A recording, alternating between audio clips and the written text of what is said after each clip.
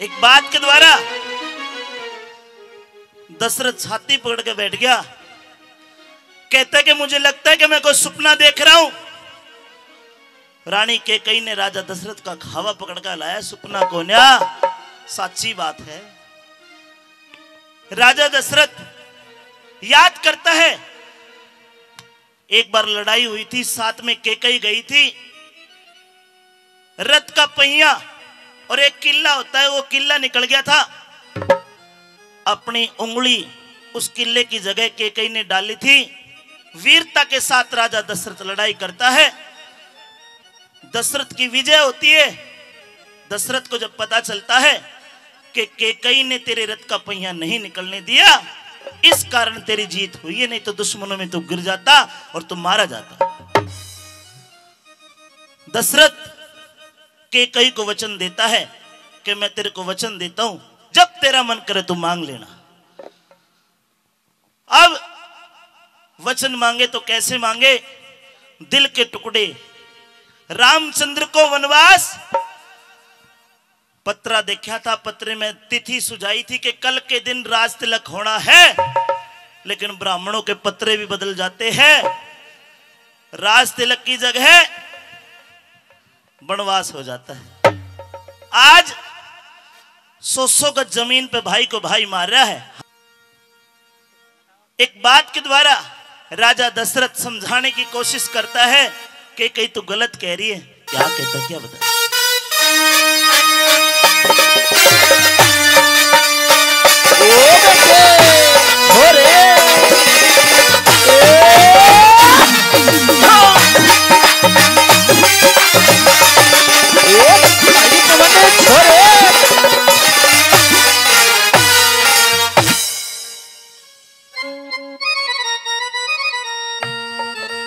ने बोलिया के हाजिर कर दू, रानी तेरे। बेशक जहान मांग ले। लेकिन राम ने वनवास छोड़ मेरी जान मांग ले। हाजिर कर दूँ, रानी तेरे। जान मांग ले राम ने वनवास छोड़, मेरी जान मांग ले हाजिर कर दूँ रानी तेरे, जान मांग ले राम ने वनवास छोड़, मेरी जान मांग ले हाजिर कर दूँ रानी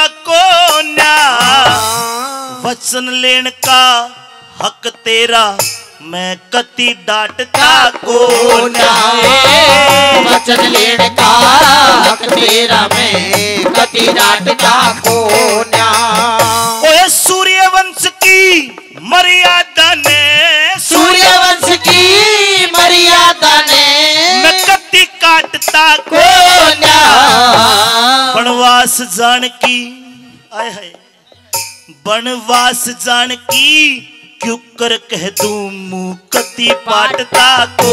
नहाए वनवास जान की तू कर के जो मुँह कति पाटता को?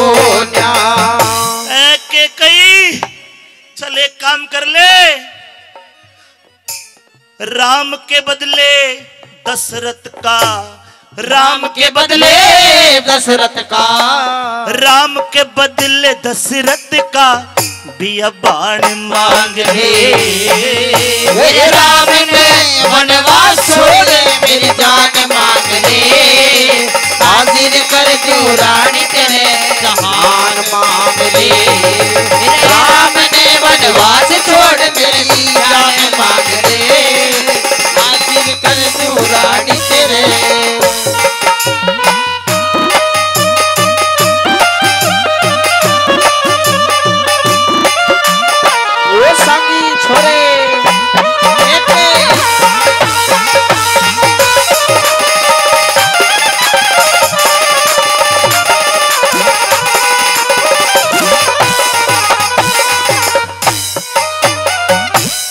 एक बाप के दो बेटे हो। अरे बाप को ने सौ गज का प्लॉट हो मात्र सौ गज का प्लॉट। अरे बाप अपनी मर्ज़ी ते, एक छोरे ने साठ गज दे दे, और एक छोरे ने चालीस गज दे दे। जिसने दस गज ज़मीन कम मिली है, बाप से ती लड़ाई करेगा, मुकदमा करेगा। और यहाँ तक कि भाई को भाई का कत्ल भी होते हमने देखा है, सुना है, पढ़ा है। लेकिन देखिए, त्रेता युग में अयोध्या नगरी का राज केवल हिंदुस्तान का नहीं, पूरी पृथ्वी का राजा था। राजा दशरथ पूरी धरती का, जहाँ तक धरती है। और इतने समूचे, इतने बड़े राज का राजा दशरथ। और लड़ाई किस बात पे? कि भरत को राजगद्दी मिले, लेकिन भाई भाई का वो भी प्यार था। पूरी धरती का राज एक फुटबॉल गेंद की तरह एक गेंद की तरह कभी भरत की गोद में, भाई भरत, तू राज कर। कदे भरत रामचंद्र तक कहते भाई, तू राज कर। चौदह साल तक भरत राजगद्दी पर नहीं बैठा। अपने बड़े भाई की चरण खड़ाऊ को रख के राज का प्रतिनिधि बनकर राज करया कदे सिंहासन पे नहीं बैठा। वो भी भाई भाइयों का प्यार था। राज का भी प्यार है। दशरथ कहता कि, रानी, के कई कौशल्या, तेरी बड़ी बहन है। तेरी माँ बराबर लागे है। और देखे, भरत अपने भाई रामचंद्र ने देवता की जीव पूछता है, जब भरत को पता चलेगा कि तेरी माँ ने राम को वनवास करा दिया तो शायद वो तेरे को भला बुरा कहे। क्या समझाता है? क्या? राम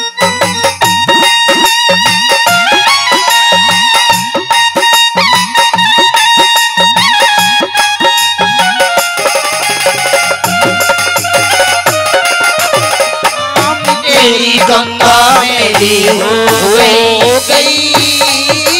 पापियों के पाप धोते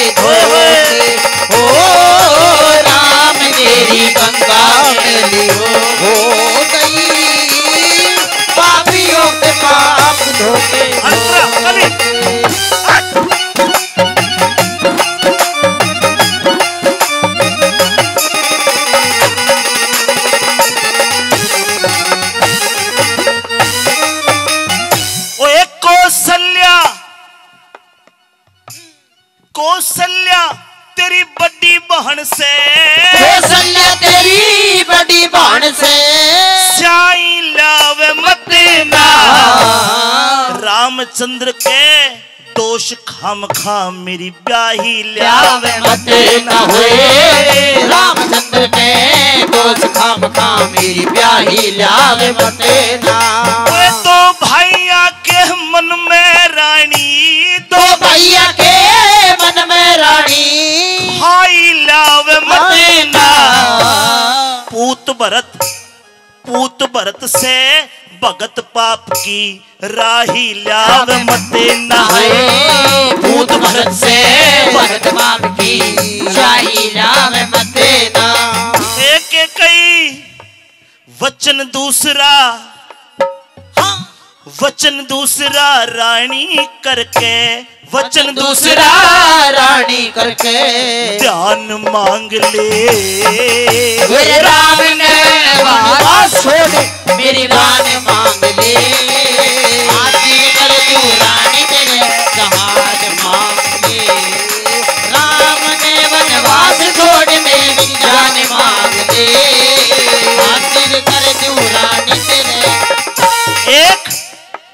की बात बताऊँ, राम तक पैदा भी कोने हुआ उससे पहले कौशल्या राम का भजन करया करती थी।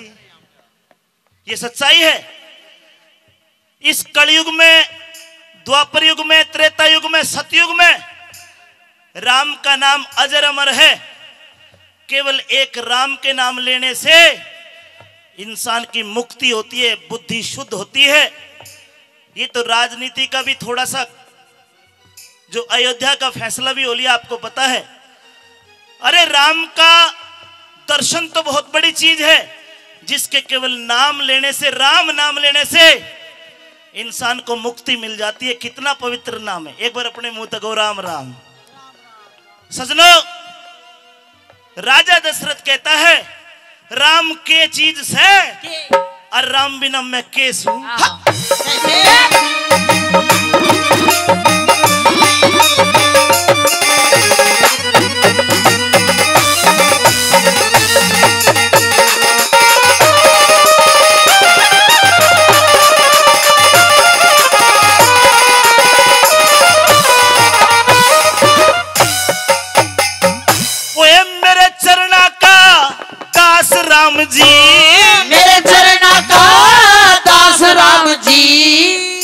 क्योंकि मैं राम का पिता हूँ दशरथ हूँ। मेरे चरना का दास राम जी। मेरे चरणा का दास राम जी। राम बिना मैं मरे जा। सबकी राखे ख्यास राम जी। राम बिना मैं मरे जा। ओए सबकी रखे खास राम जी। राम बिना मैं मरे जा। मेरे पेट राम जी मेरे पेट की आग राम जी राम बिना मैं मरे जा। जे चाल्या जा जे चाल्या जा बनवास राम जी जे चाल्या जा बनवास राम जी राम बिना मैं मरे जा। वनवास राम जी राम बिना मैं मरे जा। अरे शीस काट के धर दूँगा। शीस काट के धर दूँगा। मेरे प्राण मांग ले। राम ने वनवास छोड़ मेरी जान मांग ले। हाजिर कर दूँ रानी तेरे। जान मांग ले। राम ने वनवास छोड़ मेरी जान मांग ले। हाजिर कर तू रानी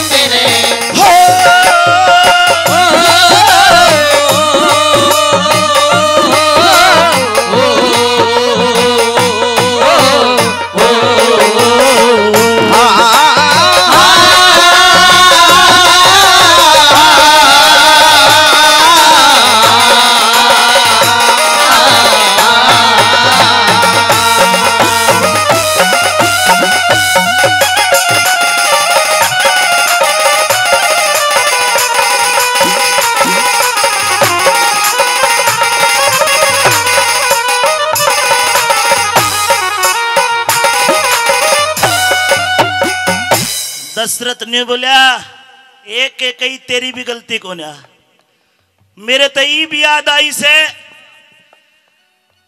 मेरे बाप का नाम राजा रघु था। मेरी एक बहन मेरी बेबे भी, जिसका नाम चंद्रवती, जो मुनि उद्यालक ऋषि के आई है। मेरे आज वो दिन याद आता है। मेरे अंदर शब्द भेदी बाण चलाने की कला थी। आँखों पर पट्टी बांधकर कहीं भी आवाज़ कर दे, मैं निशाना तीर कन्यू कन्यू मार दूँगा।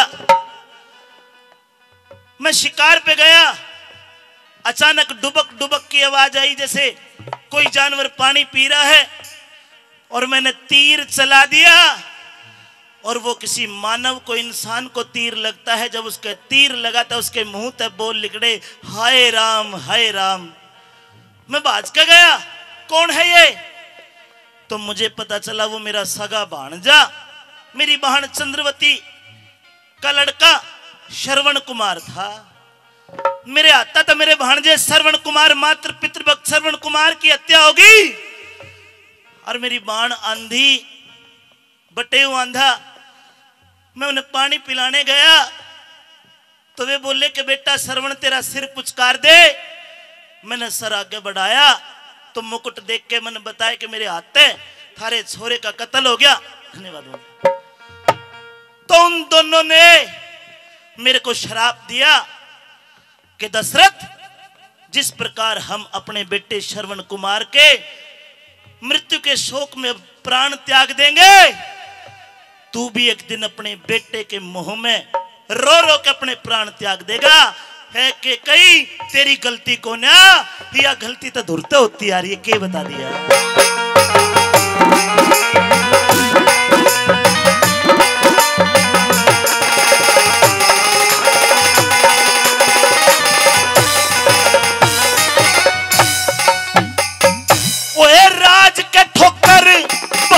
मार दे।